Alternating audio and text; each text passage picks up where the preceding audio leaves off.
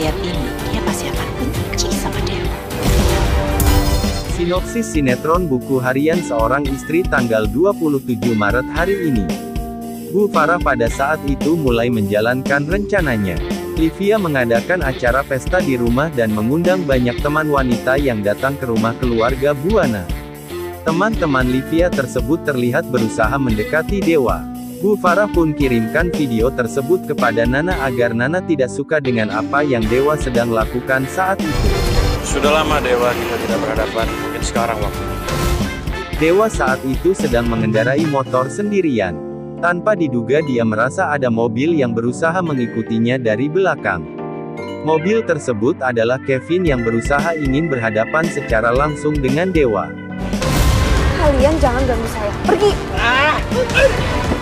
Nana saat itu sedang pergi sendirian keluar rumah. Tanpa diduga ada beberapa orang yang mencoba mengganggunya di jalan. Nana pun berusaha membela diri namun sepertinya kesulitan karena banyaknya jumlah mereka. Pak Noval pun melihat kejadian tersebut dan segera berusaha melindungi Nana. Apakah orang-orang tersebut adalah bagian dari rencana Pak Noval? Kita nantikan kelanjutannya malam ini.